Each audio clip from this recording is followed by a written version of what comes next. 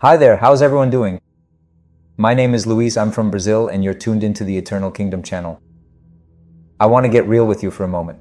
Did you know that in a short while, the Bible, which is the Word of God, will be practically banned all around the world? There are already some countries where preaching the gospel is forbidden, but it's going to happen all over the globe. Maybe that doesn't matter to you. Maybe you don't believe in God. You only believe in this life. Perhaps you think that once you die, that's it forever that there's no resurrection, no judgment, that God doesn't care about anything or doesn't even exist. But actually, God does exist, and He promised that one day He would send His Son to die for our sins, rise again for our justification, and that the gospel would be preached in all nations before the end comes. But before that, there would be persecutions. The world would be utterly corrupt. The Bible talks about this. The Bible describes the world today, 2023, as a corrupt and highly technological society where people don't care about anything. Just look at social media and all the things we see happening around the world. And we don't pay attention because everything is being normalized. Everything is presented to us, shown as they're presenting all of this to us as if it's perfectly natural and we get a ton of distractions on social media. But the Bible says that one day the Son would come and he did, he died and came back to life and his teachings are being spread all over the world. There's a huge number of people believing in the gospel and they know that the Son will return and he hasn't yet because he's got plans. Yeah, he hasn't come back yet because there are things that still need to happen.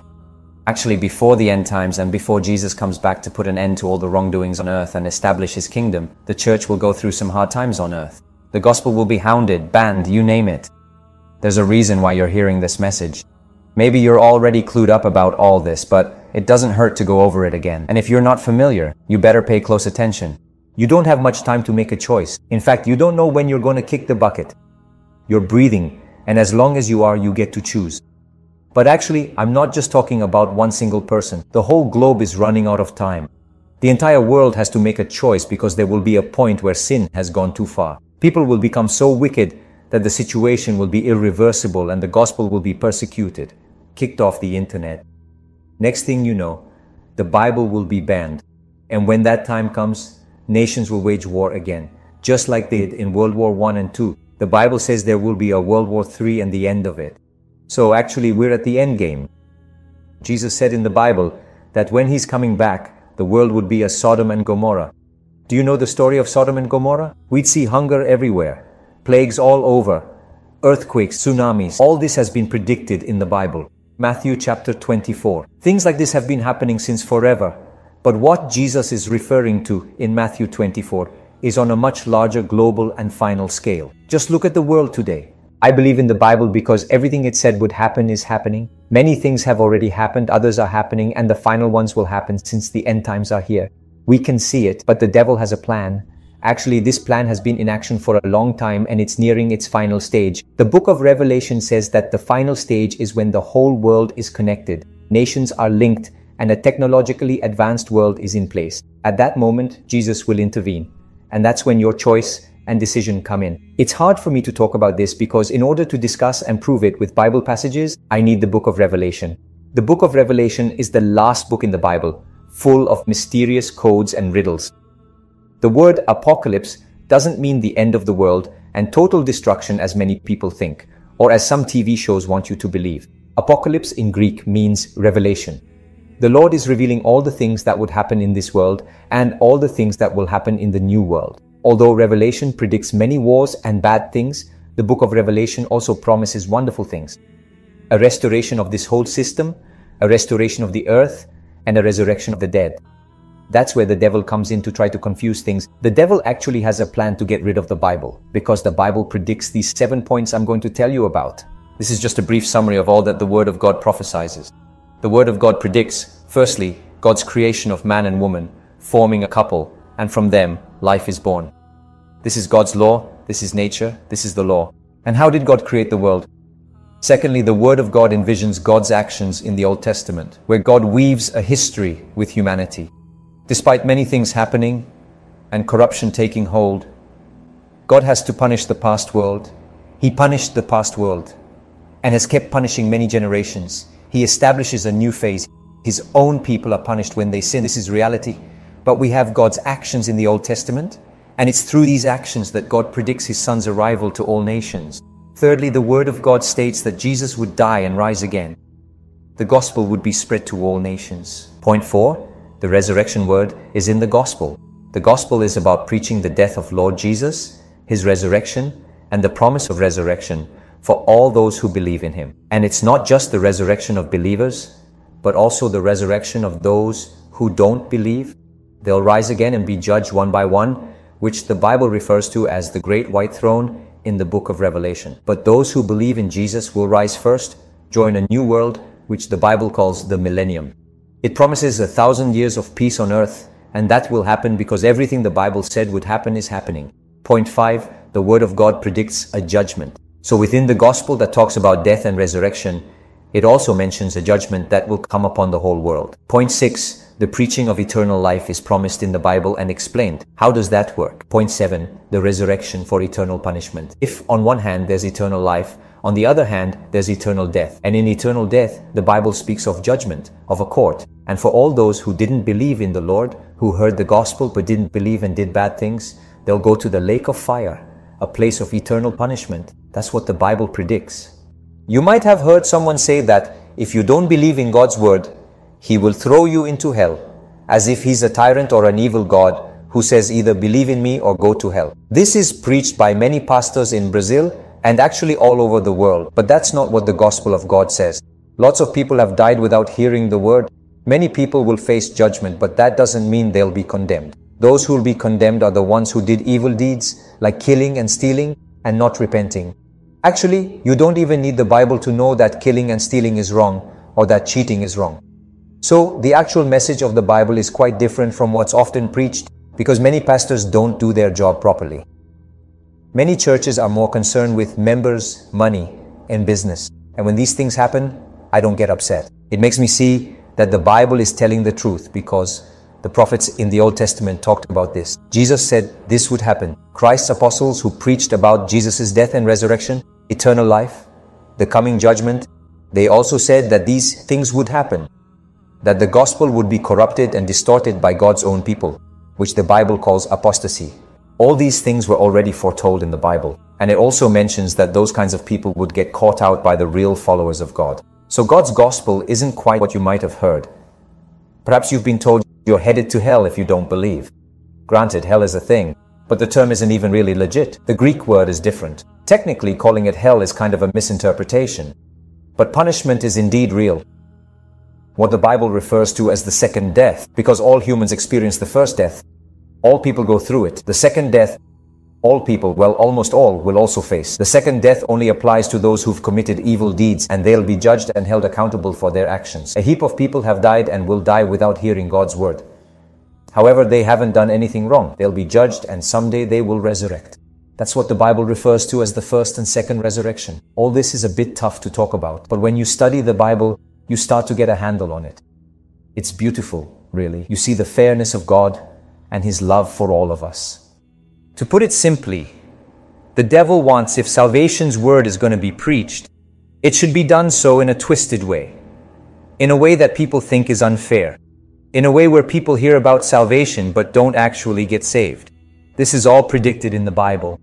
The book of Revelation talks about it. Actually, what he really wants is to remove the word of salvation from the world, just like happened in many previous generations. There were times on earth when the word of salvation wasn't preached. There are places right now, as we speak, where it's illegal to preach the Bible. You get killed if you preach God's word in places like North Korea and many Islamic countries, all condemned by God's word in both the Old Testament and the New.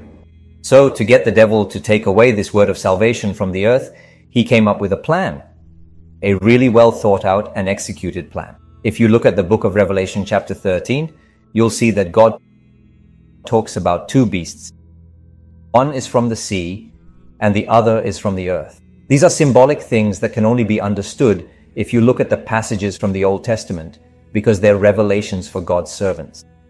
It's a way that God found to denounce both the ancient world and the current world through codes, and there are purposes for that. The beast of the sea talks about united nations, nations that will join together but won't actually stay united. They'll join up for their own interests. In reality, they're against each other, but they make alliances only for their interests. Isn't it funny when you look at today's world and see all of this?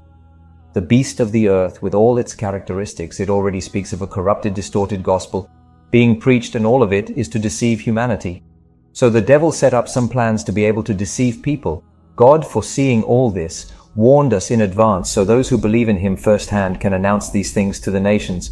Even in a time like this, such a confused mess of a time when social media is corrupting children, youth, even grown-ups. All social networks are compromised. Yeah, God uses them to spread the gospel. But the truth is, they're corrupted. A cell phone can be used for good or bad. Money can be used for good or bad. A sword in the hand of a just person establishes justice, but in the hand of an unjust one, it kills.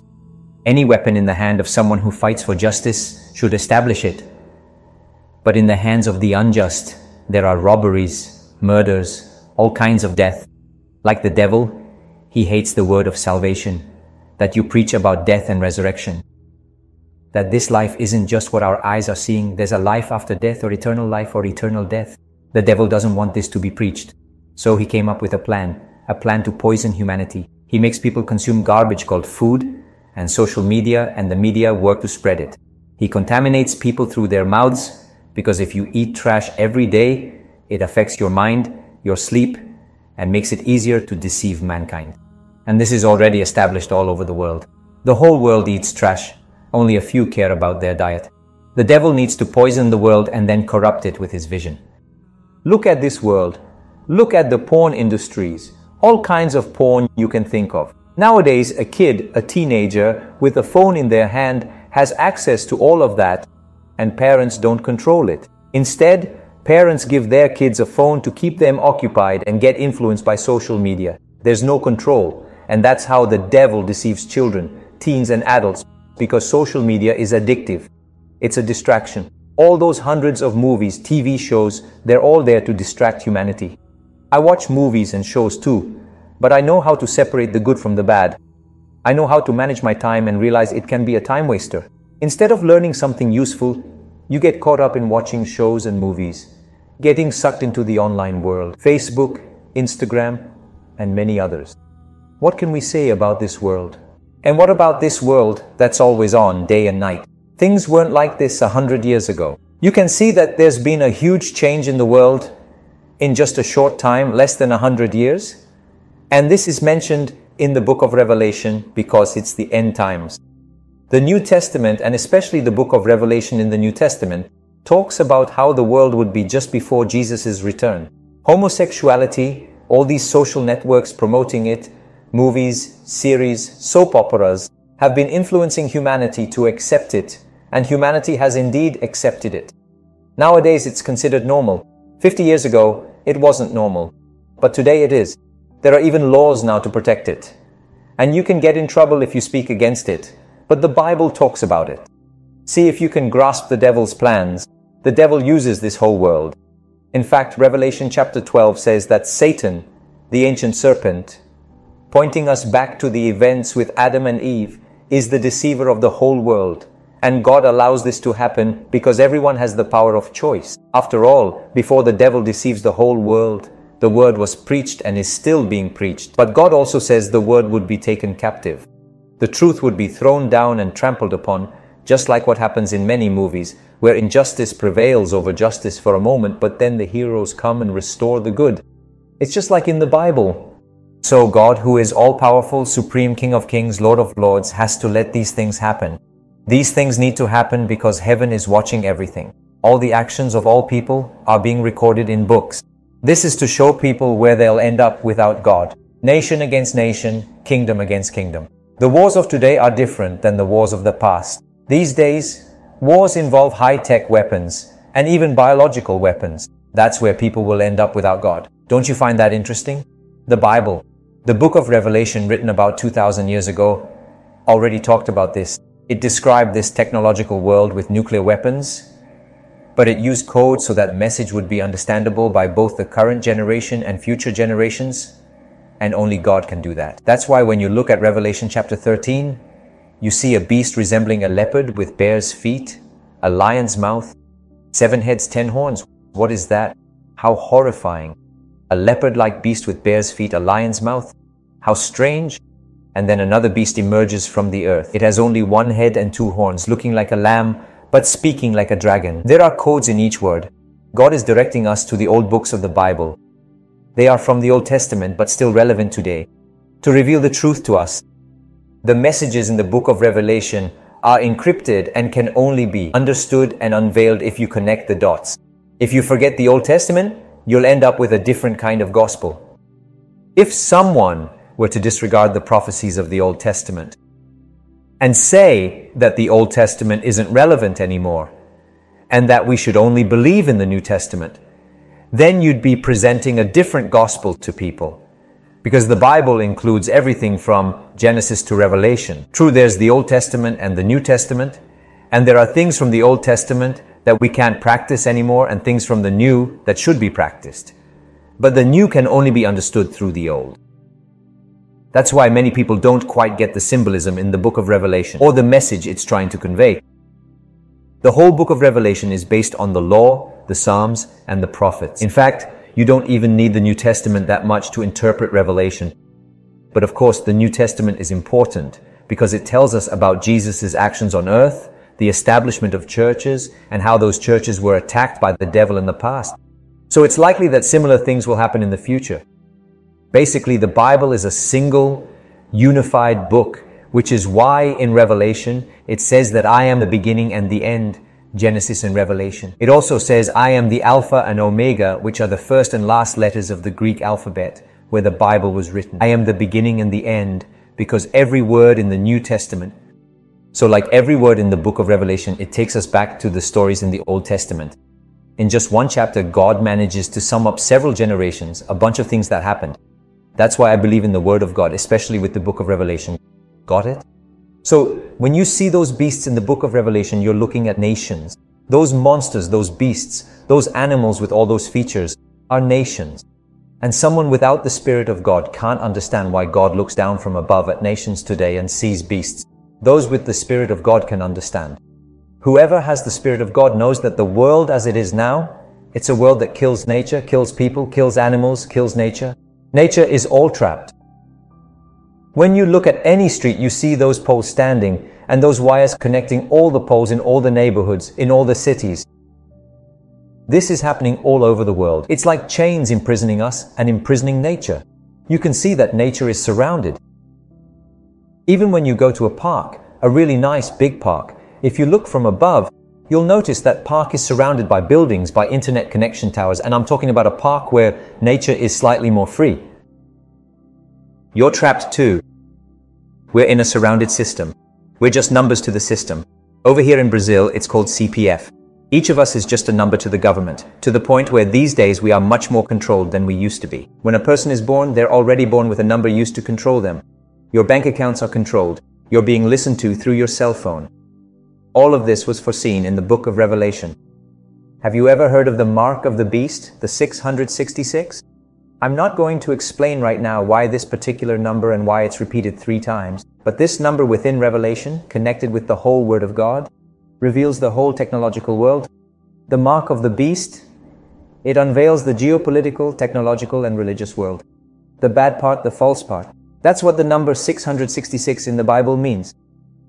You need the stories from the Old Testament to understand this, and you need to know about some things that happened a few years ago and look at the world exactly as it is today. It's no use just looking at the world today and you won't understand what the mark of the beast means. You need to look at the world today through the prophecies of the Bible, especially the Old Testament. The New Testament has its significance. It's a document that originated from the Old. But those codes in Revelation, they're better understood by the Old Testament. And that's what many churches don't get. Why do you think God wanted the last book of the Bible to resemble the Old Testament and not the New? Because God knew that many churches today would only preach the New Testament and not the Old. So it's an incomplete story, doesn't make much sense. It's more of a religious thing. So you, so you've heard of the mark of the beast, right? It's a system. But Revelation also talks about the image of the beast. And this is where our minds open up. The image of the beast, which I've already explained to be kingdoms, will have a general ruler. Yes, the Bible talks about it. The Bible calls him the Antichrist. But this general ruler will govern many nations. So it's all connected. The beast isn't just one man. The beast is United Nations. like it is today. When we look at the book of Revelation as a whole, it all matters. See, in chapter 13 of Revelation, there's this image of a beast. It's said to be created by humans. We've got this beast, right? And it's marked. This mark is used for control, and through it we can see the political, religious, and technological realities of our world. But also, we've got this image of the beast. It's something that would be crafted by people in this generation. And this beast image, as you might now realize, is an image of nations. It embodies a whole program. It's what dictates who lives and who dies, because Revelation says every person would bear a mark, either on their forehead or hand. Without this mark, no one can buy or sell which basically means no mark, no food or drink. You know what Elon Musk is suggesting, right? How about some other companies?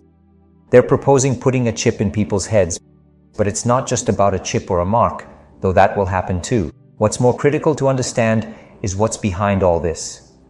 An attempt to indoctrinate humanity, to infiltrate minds with beliefs against the Bible, against God, and make your hard work serve this system.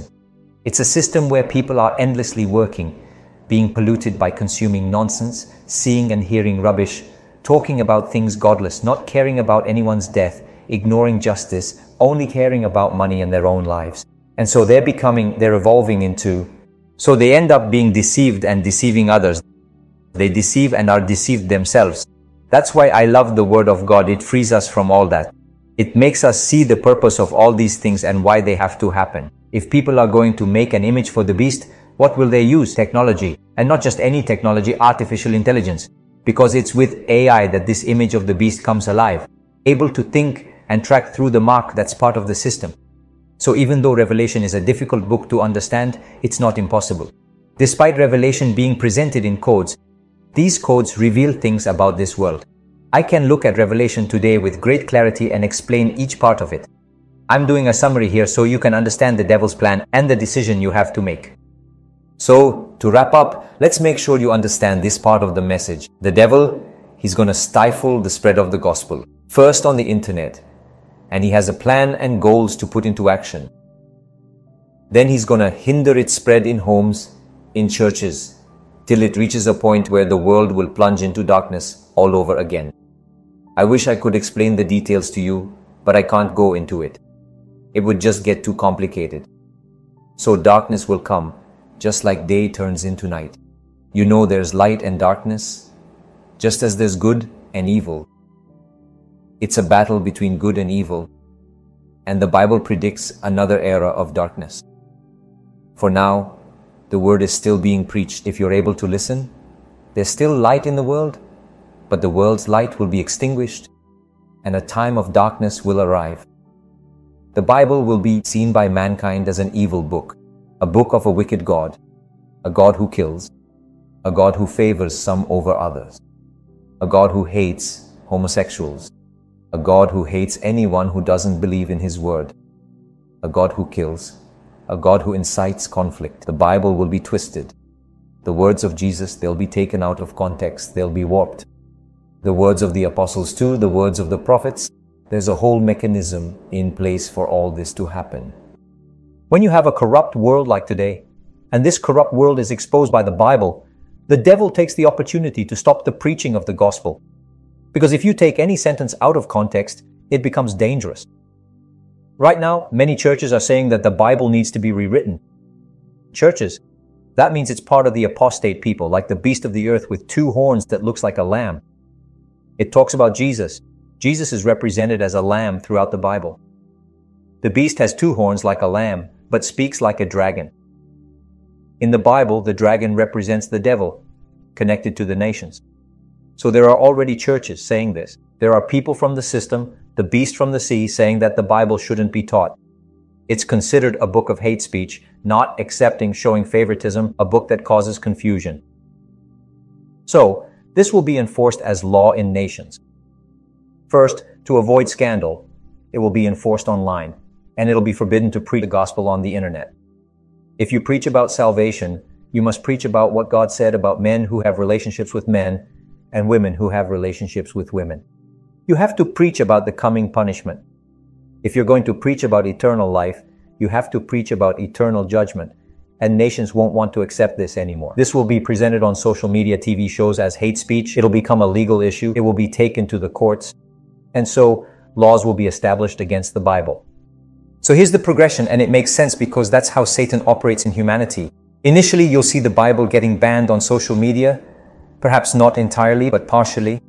They'll put up restrictions, like if you talk about homosexuality, your channel will get taken down. You'll be discouraged to discuss it.